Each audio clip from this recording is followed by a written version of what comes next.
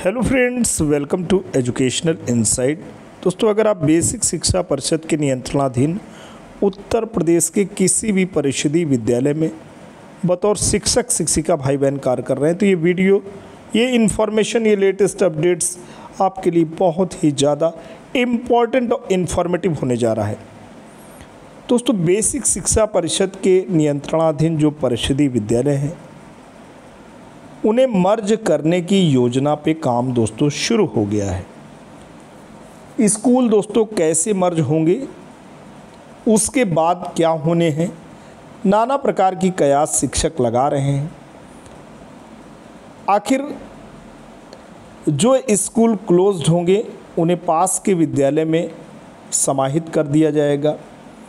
तो वहाँ पे कार्यरत जो भी स्टाफ हैं, जो भी शिक्षक, शिक्षिका भाई बहन हैं जो भी शिक्षा मित्र भाई बहन हैं, उन्हें किस रूप में सेवा देनी होगी, उनकी सेवा की शर्तें क्या होगी, इस संबंध में अभी किसी भी प्रकार का गाइडलाइंस नहीं आया है। लेकिन इतना तो तय है कि जहाँ छात्रों का नामांकन कम है, जहाँ बच्चों की संख्या कम है, ऐसे स्कूलों की डिटेल्स मांगी जा रही हैं। यही नहीं वो विद्यालय जहाँ पे स्थित हैं, उनके बगल में जो सरकारी विद्यालय हैं या सरकार द्वारा मान्यता प्राप्त विद्यालय हैं, उनकी भी सूचना मांगी जा रही है।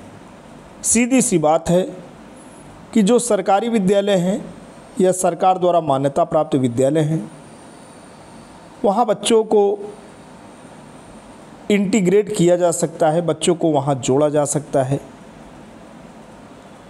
लेकिन जो शिक्षक शिक्षिका भाई बहन हैं, उन्हें कहाँ सेवा देनी होगी? उनकी क्या गाइडलाइंस और उनकी क्या व्यवस्था होगी? इस संबंध में अभी कोई सूचना दोस्तों नहीं आई है। हाँ बच्चों का नामांकन जहाँ कम है, काफ़ी कम है। स्टाफ, वहाँ पे शिक्षा मित्र, सहायक शिक्षक या प्रभारी सहायक शिक्षक या हेड टीचर के रूप में अगर कार्य कर रहे हैं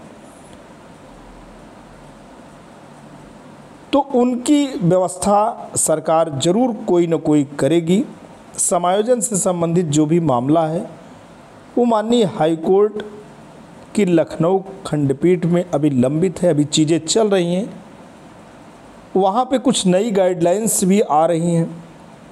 लेकिन जब तक फाइनल सुनवाई ना हो जाए और जज साहब उस संबंध में अपना ऑर्डर ना जारी कर दें, कुछ भी अभी कह पाना जल्दबाजी होगी और माननीय हाईकोर्ट जो भी कहता है, वो तथ्यों, तर्कों और साक्ष्यों के आलोक में अपने जजमेंट देते हैं। उनमें हम अभी कुछ भी बोलने की स्थिति में नहीं हैं और माननीय हाईकोर्ट की कोई भी बात को कयास लगाना प्रेडिक्ट करना, उसके विषय में पूर्व कथन करना या पहले से ही सारी चीज़ें कर लेना ये दोस्तों बहुत दुष्कर कार्य है। बड़ा आसान सा मामला नहीं है, क्योंकि अगर सारी चीज़ें पहले से ही जानकारी हो जाए तो माननीय हाईकोर्ट की शरण में जाने की आवश्यकता ही क्या है? इतनी जानकारी तो सरकार के पास भी रहती है, इतनी जानकारी तो जो लोग माननीय हाईकोर्ट की शरण में जाते हैं, उनके पास भी रहती है। लेकिन जो नए अनुसंधान होते हैं, जो नई खोजें होती हैं, जो उस संबंध में जो लेटेस्ट कोर्ट संबंधी अपडेट्स होती है, उसको अधिवक्तागण ही तय कर पाते हैं और वो उनके अनुसंधान और उनके विषय का क्षेत्र है। उसी के उपरांत जज साहब डिसीज़न देते हैं और जो डिसीज़न आता है, उसी के गाइडलाइंस में, उसी के कंप्लायंस में सरकार काम करती है। आज ये जो वीडियो हम आपके सामने प्रस्तुत करने जा रहे हैं उससे शिक्षकों में काफ़ी हड़कंप मचा हुआ है, क्योंकि शिक्षक इस लिस्ट को देखने के बाद उनका परेशान होना लाजमी है और ये केवल एक जनपद की लिस्ट नहीं है कमोवेश ऐसे ही लिस्ट कई जनपदों में जिला बेसिक शिक्षा अधिकारी के स्तर से जारी हुई है। आइए हम आपको बताते हैं, हम आपको दिखाते हैं वो तस्वीर, जो वाकई आप को परेशान कर सकती है, आपके चेहरे पे शिकन आ सकती है। लेकिन दोस्तों, अगर आप चैनल पे नए हैं, पहली बार विज़िट कर रहे हैं तो प्लीज़ लाइक, शेयर और सब्सक्राइब कर लें। बिना देर किए आते हैं। बेसिक स्कूल होंगे मर्ज। इस संबंधी जो मांगी गई सूचना है, उसे आपको दिखाते हैं। दोस्तों, ये जनपद प्रतापगढ़ का एक डाटा है। आप देख पा रहे हैं, जनपद प्रतापगढ़ में सत्रह ग्रामीण क्षेत्र में विकासखंड है। एक नगरीय संवर्ग है नगरीय क्षेत्र है। आप देख पा रहे हैं, यहाँ पे तकरीबन 10 विद्यालय ऐसे हैं, आसपुर देवसरा विकास खंड में। जहाँ पे जो नामांकन है, वो 40 से कम छात्र संख्या का स्कूल है। विद्यालय में नामांकित छात्र संख्या यहाँ आप देख पा रहे हैं। इक्कीस है, बत्तीस है, तैंतीस, चौंतीस चौंतीस, छत्तीस, सैंतीस, अड़तीस अड़तीस, उनतालीस। अब इसके बाद जो सूचना मांगी गई है कम छात्र संख्या वाले विद्यालयों के आसपास विद्यालयों की दूरी। अब कोई स्कूल जहाँ पे बच्चा कम आ रहा है, वहाँ इनरोलमेंट किन्हीं कारण से, उसका कारण नहीं अभी यहाँ पे बताया गया है, किन्हीं कारण से वहाँ नामांकन कम है? तो उनके आसपास जो स्कूल है, उनकी डिस्टेंस कितनी है? फिर आगे कॉलम कहता है कि मान्यता प्राप्त विद्यालयों का यूडाइस कोड एवं मैपिंग है अथवा नहीं? विद्यालयों की डिस्टेंस पूछ रहा है और रिकग्नाइज जो स्कूल है, उनका यूडाइस कोड पूछ रहा है और गवर्नमेंट ने ऐसे स्कूल को मैप कर रखा है या नहीं? ये भी बहुत ज़रूरी है, क्योंकि अगर कोई भी चीज़ें मैप्ड नहीं है तो वो पोर्टल पे किसी भी प्रकार के शिक्षकों को इधर से उधर सरकार नहीं कर पाएगी। इसलिए ऐसे स्कूलों की मैपिंग बहुत ज़रूरी है। ऐसे दूसरा विकासखंड बाबा विलखननाथ धाम है।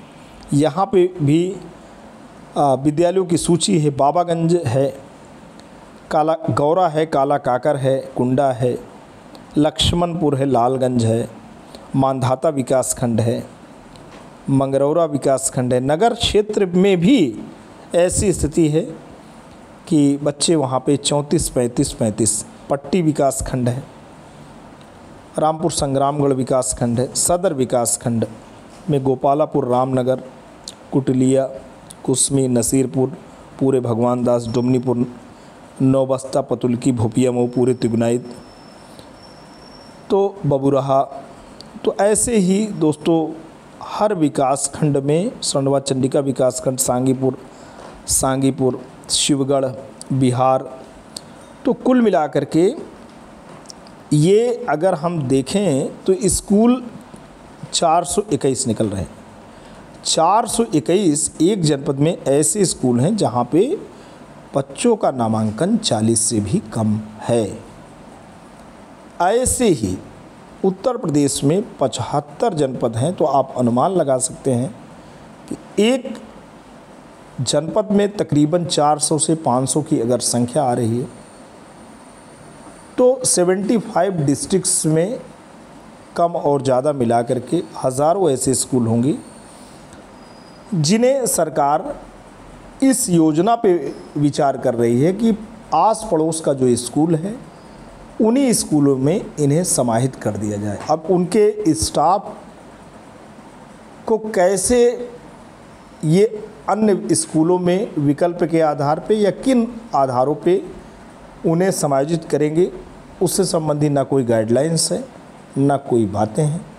लेकिन हज़ारों स्कूल बंद होने वाले हैं, ये एक अलग विषय है। और ये चिंतन मन का भी विषय है। आज के लिए दोस्तों इतना ही। वीडियो इन्फॉर्मेशन लेटेस्ट अपडेट आशा करता हूँ आपको अच्छा लगा है। अच्छा लगा है तो लाइक शेयर और सब्सक्राइब करें। Thanks for watching and listening. This is Ajay Prakash Dubey signing off.